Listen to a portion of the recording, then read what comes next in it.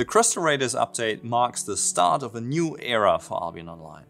We are refocusing the guild seasons. There will now be an update every single season with new content in the Conquerors Challenge every single season. I think players will enjoy the more frequent updates because there's always something new to explore. The key focus of the Crystal Raiders update is to breathe fresh wind into the Guild Warfare gameplay with the introduction of territory raiding, a rework Conquerors challenge, and crystal weapons. We chose to focus on guild warfare and guild seasons for this update because we wanted to align the guild goals and the individual goals better. Raw energy is an intermediary resource produced by territories in the Crystal Raiders update. Raw energy is refined in the territories into siphoned energy and the exciting thing about raw energy is that it can be stolen from your enemy's territories and carried back to your own territories. We wanted to feel almost like a bank heist.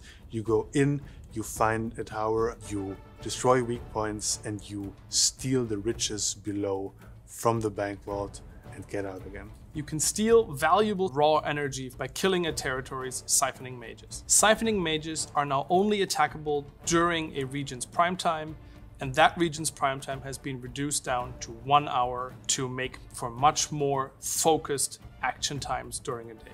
What we hope to achieve with territory raiding is that guilds are heavily incentivized to go into conflict with each other.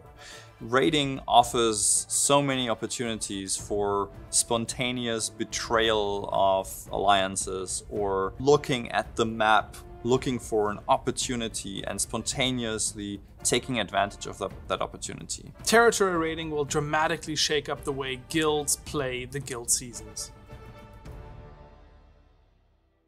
We took another look at the Conquerors Challenge and we decided that there needs to be a way for, the, for your rewards from the Conquerors Challenge to improve based on your guild success so that you as an individual benefit from the time you've invested into the success of your guild. In the new Conquerors Challenge, at the end of the season, instead of battle mounts, you will get a reward chest. This reward chest will not only upgrade with your progress in the Conquerors Challenge, but also increase in value with your guild rank.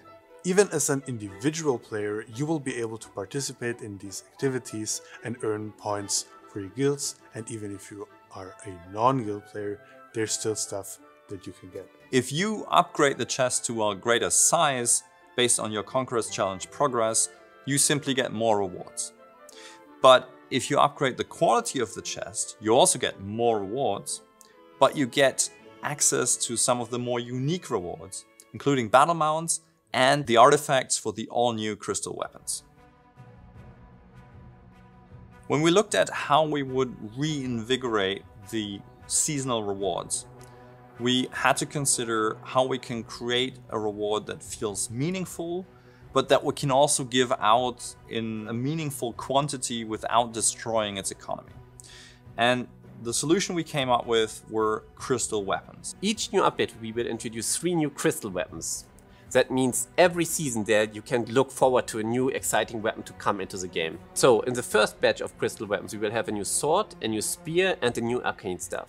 Our design philosophy for these weapons was form follows function, meaning they have clear shapes, they have big crystal blades. The new spear ability lets you shoot out a big large projection of your staff that deals a lot of damage in large scale fights. New sword ability lets you charge up your power, run into the enemy forces and strike them twice. The new arcane ability lets you summon stars from the sky that you can rain down on your enemies. Players can look forward to every upcoming update to contain a fresh batch of three crystal weapons. The advantage of releasing them in multiple batches is that we can introduce fresh and exciting new gameplay in every update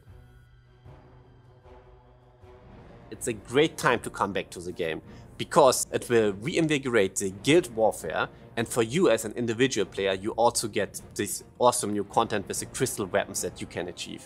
We want to bring fresh wind into the guild versus guild conflict and territory warfare. We are super excited to release the Crystal Raiders update in the beginning of 2024, but are already hard at work on what comes after. Whether you are a new player or a returning player, there will be a bunch of exciting stuff coming to Albion Online in the next year.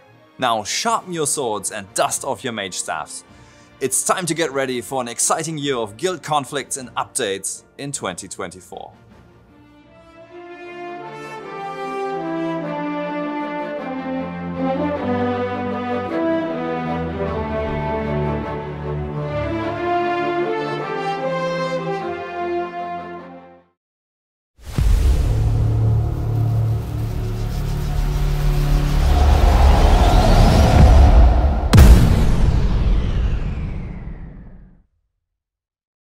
Tôi tăng cường tuyển dụng thành viên cho mùa mới dây cấn hơn.